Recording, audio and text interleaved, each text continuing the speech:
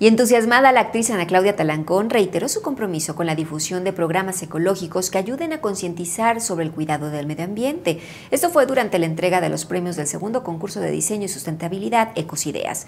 Ahí comentó que el reciclaje es parte del cuidado ecológico y que la empresa purificadora de agua para la que ella labora emplea este sistema de reutilización de plástico en su producto por lo que su propósito es que a través de su imagen las personas logren entender la importancia de conservar el planeta.